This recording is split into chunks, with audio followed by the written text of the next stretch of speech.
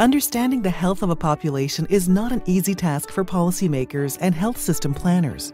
That's because it requires looking at the different healthcare needs of hundreds of thousands or even millions of people. Let's take a closer look at one Canadian family and how they use the healthcare system. George and Mary Peterson live in a rural community in northern Canada, and they've been married for 40 years. George has uncontrolled diabetes and cardiovascular disease, and he has the onset of dementia. Mary has glaucoma, but other than that is relatively healthy. They both go to the same family doctor. George has been seeing her regularly about every three months, while Mary visits annually for a checkup, and she also sees her ophthalmologist twice a year. The onset of George's dementia is creating some problems, and he's visited the emergency department a couple of times in the last few months. Recently, he's been referred to a geriatrician. The Petersons' 38 year old son Charlie lives in the same community and hasn't had the need for any healthcare services in the last couple of years. George's only brother, Douglas, has been in a long term care facility for the past three years. He has advanced Parkinson's disease and requires help from the home staff for all of his daily activities, such as eating and getting dressed. The Peterson family can be viewed as an example of the variation of healthcare needs in a population. If we multiply this by hundreds of thousands of people, all with different health profiles, what can a health system planner or policymaker do to ensure health services are available according to population needs? That is to say, how can they understand the healthcare needs of the whole population and develop the right policies and plans to get the needed resources to the required locations? In response to this challenge facing health system professionals, the Canadian Institute for Health Information, also known as CIHI, developed a population grouping methodology, or POP grouper.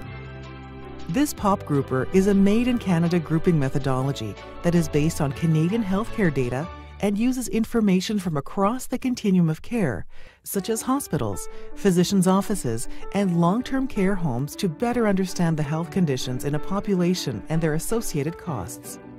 The POP grouper provides individual clinical and demographic profiles, such as those described for George, Mary, Charlie, and Douglas, and uses these profiles to help determine the health needs of a population. Let's break this down a little more. The POP grouper looks at the clinical profile of each person in the population, as well as their demographic characteristics, such as age, sex, and socioeconomic status. With a focus on chronic conditions, identifying each person's clinical profile is a key component of the POP grouper. In our example, we know that George has diabetes, cardiovascular disease, and dementia, Mary has glaucoma, Charlie has no identified health conditions, and Douglas, who's living in long term care, has Parkinson's disease.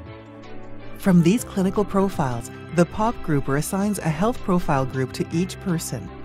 This health profile group summarizes each person's health conditions into the main condition driving their health needs. It also considers the complexity of their health needs by recognizing that treating people with certain combinations of health conditions can be more complex and require more time and resources. For example, we know that George has three health conditions. The health profile group associated with George's clinical profile is dementia with significant comorbidities. This means that based on George's current health needs and looking into the future, George's dementia is the health condition that will affect his future health the most and require the most clinical care. Using the demographic and clinical profiles, the POP grouper provides an estimate of the cost of providing health care for each person. The POP grouper also predicts how often each person will visit a family physician and an emergency department.